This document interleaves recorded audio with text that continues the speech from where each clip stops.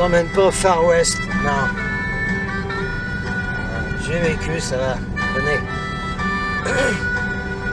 C'est bien. Les Indiens, les pauvres, ils sont dans des réserves, ils sont malades, ils sont obèses, ils sont tout ce que vous voulez, bravo.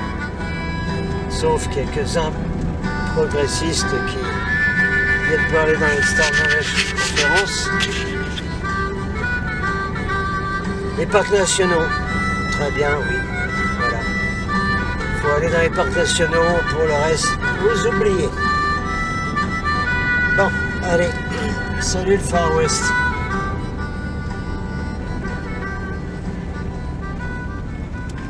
Bon.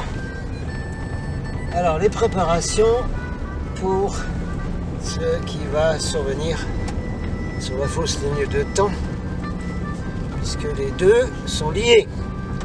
Ah là là Préparation mentale de l'humanité pour une révélation extraterrestre est liée comme ça avec les chemtrails, comme ça et avec la fausse ligne de temps, comme ça. Ça va ensemble tout ça, ça fait partie du même plan. Ok Tout le monde a compris? C'est bon. C'est bon, c'est bon. Préparation. Étant donné qu'on on, lit, par contre, savait parfaitement ce qui allait se passer après les années 50, que ce soit dans les manipulations à Hollywood, à la musique, la destruction du mouvement des frères de l'espace, le boom du New Age infiltré, contaminé, ensuite les expériences militaires chemtrails, plus les faux drapeaux pour euh, dégommer la bonne ligne de temps et la remplacer par la fausse. Donc on a commencé les préparations très tôt. Étant donné qu'en plus, euh, dès les années 50, euh, tout le monde marchait, travaillait avec les reptiliens, les gris, etc., les mains dans la main, et on fabriquait le programme spatial secret américain. Mais il y en a d'autres, hein, faut pas croire, hein, les Américains sont pas les seuls euh, méchants cow-boys qui, qui des Indiens, hein. non, il y en a ailleurs aussi. À la préparation, eh bien, premièrement, montrer le moins possible de frères de l'espace, puisque ça, il faut le démolir, y compris dans le corps ufologue, il faut démolir les frères de l'espace et les contacter. Donc, laisser le moins possible d'informations, de, films, séries télé, où l'on verrait des bons extraterrestres positifs, humanoïdes comme nous. Sauf quelques rares films comme le premier film Le jour où la Terre s'arrêtera avec Michael Rennie. Mais à part ça, on a fait tout le temps.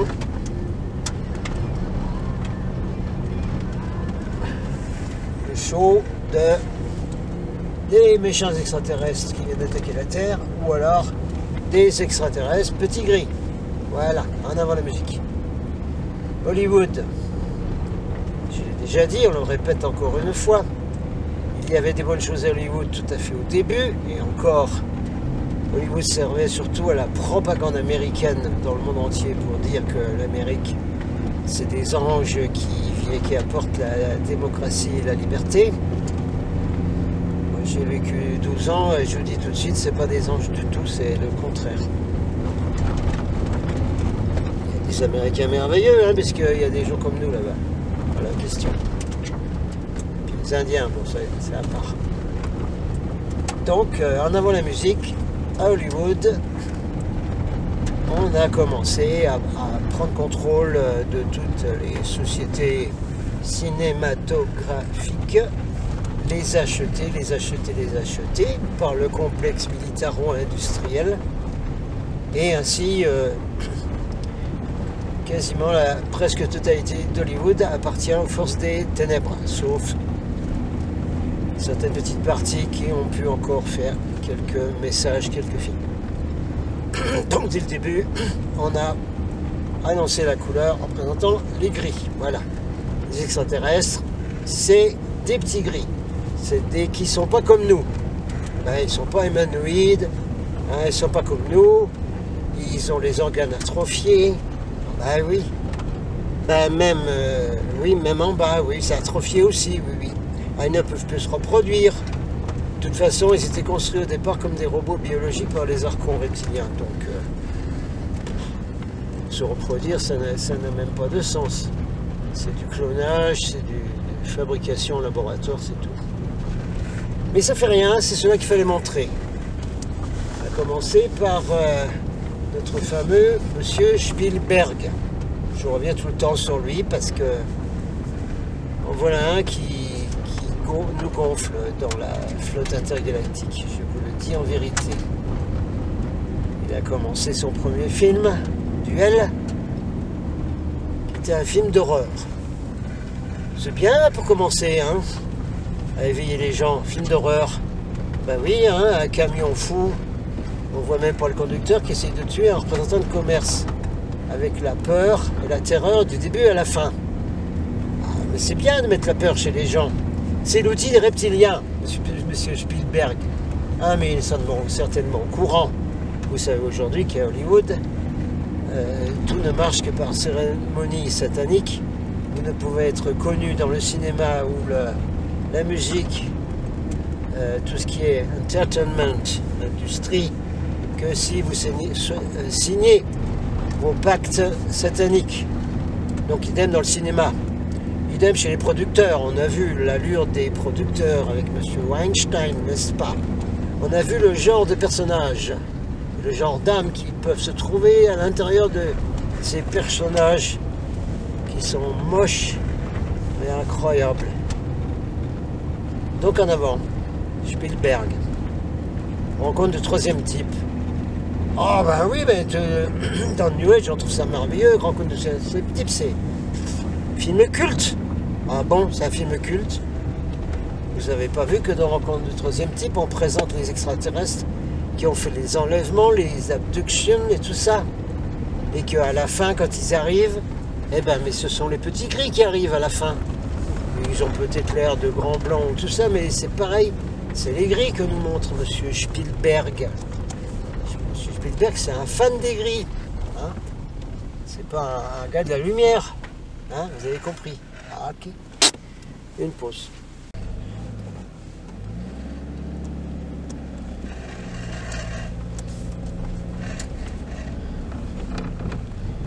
Donc, Monsieur Spielberg nous fait un coup d'éclat avec son premier chef-d'œuvre, Rencontre du troisième type.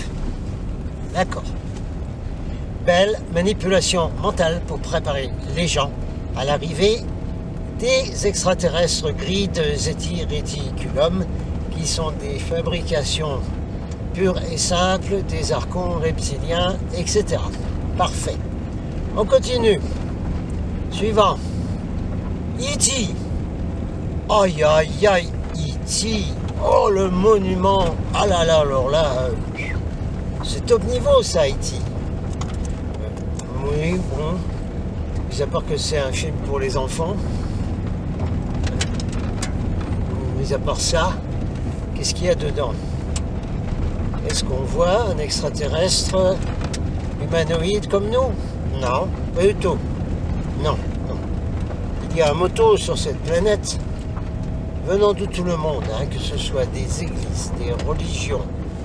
Un petit bémol pour euh, les Upanishads en Inde où on parle des, êtres bleus venus des étoiles. Petit bémol. Mais pour ce qui est du reste, aussi bien en ésotérique que tout ce que vous voulez, qu'est-ce qu'on dit? Ah ben, on est les seuls humanoïdes euh, sur Terre. Dieu a créé la Terre, a mis les humains dessus, il les a créés ici, point barre. Ah bon? Donc euh, les extraterrestres d'ailleurs, ils peuvent pas être humanoïdes alors? Ah ben non Ah, Il faut qu'ils ressemblent à E.T. Ah ben oui Bon, d'accord, admettons, admettons, admettons. Oui, il est gentil, oui, il est gentil. Bon, ok, je l'ai vu à la sortie, à Glendale en Arizona, avec des New Age dans la salle. Et à la fin, exclamation de victoire. Parce que le vaisseau s'en va et on voit un bel arc-en-ciel. À tout le monde, c'est ce body. Oh là là là là Arc-en-ciel Spielberg, il a mis l'arc-en-ciel pour signer son film à la fin. L'arc-en-ciel, c'est symbole du New Age. Hein Là, à la sortie de E.T., tous les New Age avaient des stickers, des autocollants avec l'arc-en-ciel. On en mettait partout, sur les voitures, sur les fenêtres. Vous vous rappelez de ça hein? Maybe, maybe. Ah, bravo, monsieur Spielberg, voilà une super manipulation, encore un coup, hein, de faire croire que tu l'un d'entre nous. Ah, bravo, bravo. Et ça a continué. Mais voyons. Alors, le, le coup pendable, c'est une série de monsieur Spielberg. L'avez-vous vu? Je ne sais pas le nom en français. La série s'appelle Taken, c'est-à-dire enlevé. C'est l'histoire de tous ceux qui étaient enlevés. Par qui? Par des Vénusiens? Non, non, non, non, non, par les petits gris. Ah, toute la série est sur le sujet. Et ben voilà, ils sont là et ils enlèvent les humains, etc., etc. Ah, bien, bien, bien. Il se passe beaucoup de choses dedans. Euh.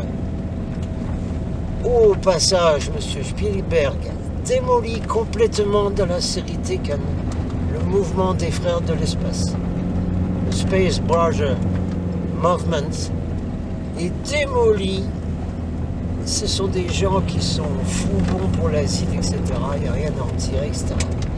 Merci beaucoup, monsieur Spielberg. Très sympathique de ta part. Très bien, c'est bien ça. Oh, c'est bien là, mon vieux. Hein. Hein, tu engranges les milliards et en plus tu nous démolis. Superbe. Et à un moment donné, il nous amène une jolie petite fille, merveilleuse petite actrice,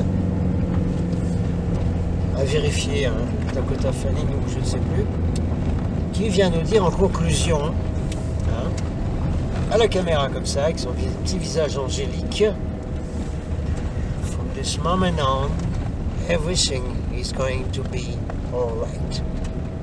À partir de maintenant, tout va être très bien.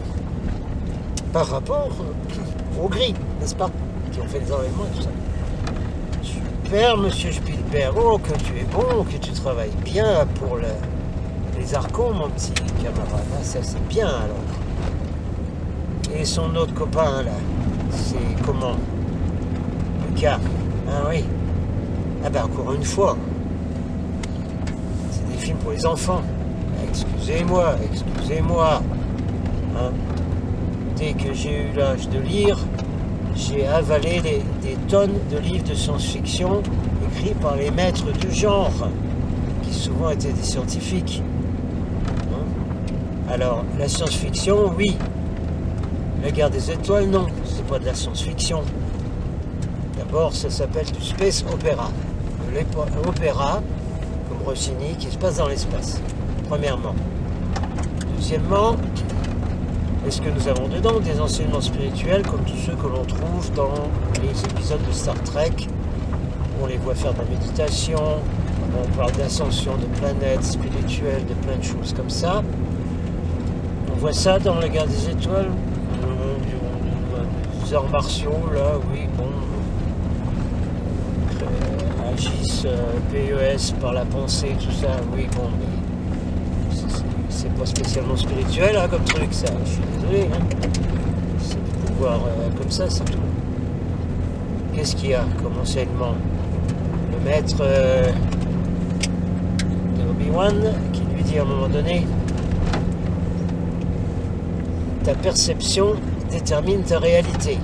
Ça, c'est bien. Oui, mais enfin, c'est pas spirituel, ça, c'est une équation. Les équations d'Archimède, de Pythagore, ça parce que ça va dans tous les sens. La perception détermine la réalité. Voilà. Hein?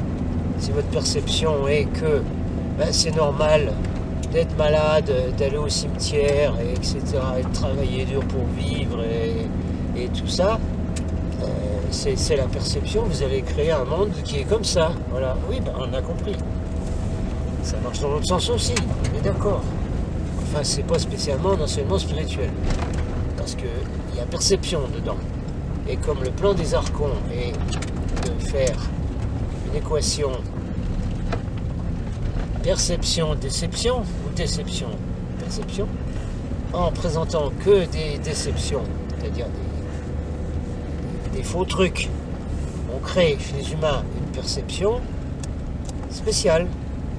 Et comme ensuite ça équivaut à création, les humains vont donc accepter d'avoir cette réalité suivant la perception qui a été manipulée par les dites et les archons. Voilà, vous avez compris. Voilà, l'enseignement de Star. Bravo. Ok. La force. Ah bon? Ah oui? C'est quoi ça? Bah, La force. euh, eh bien, mais.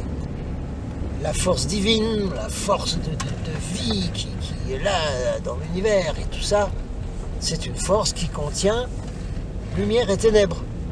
Ah bon? Ah bon? C'est nouveau, ça vient de sortir comme le nouvel homo, ce truc, c'est quoi ça? Non mais parce que les contactés avec les frères de l'espace, dans toutes les communications qu'ils ont eues, on ne parle pas des channeling, hein, ça c'est des pipeaux, j'ai déjà dit. On parle pas de ça. On parle pas que le radiant 1, comme l'appellent les frères de l'espace, contient à la fois lumière et ténèbres. C'est quoi ce truc? À la mort Moelneuil, monsieur Lucas, d'où t'as sorti ça? Quand t'as écrit ton, ton- tes scénarios quand t'étais à l'école, là? Parce que c'est pour les enfants. Waouh Attendez, je vais regarder quelque chose ici, a un problème. Nous avons une route bloquée par la neige. Très bien, d'accord. Voyons, voyons. Bah oui, on est en hiver maintenant. hein. Je suis obligé de faire des vidéos dans la voiture. hein.